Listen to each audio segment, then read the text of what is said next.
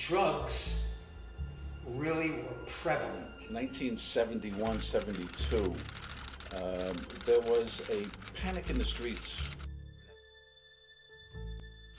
At that time, I mean, there was a series of, of guys during the uh, the late se- the early '70s that were major, major guys. Um, people were getting nervous. But people were dying in the streets from overdoses. Frank was, uh, don't underestimate him. He was a big dope dealer. They either they either had their Italian connection, which all these fellas did, Stephanie and, and Lucas and, and Nicky Barnes.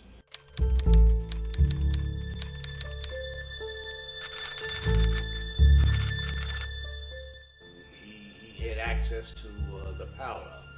Uh, Frank was the type of guy, uh, I'd go up to Harlem get the vibe, you'd, you'd just feel it. You know, Frank was there, the street was alive. There's something about uh, him and his uh, uh, persona. He was the man. Roll up in his Cadillac and he had all kind of women and he, he'd run the bar. Frank was the guy.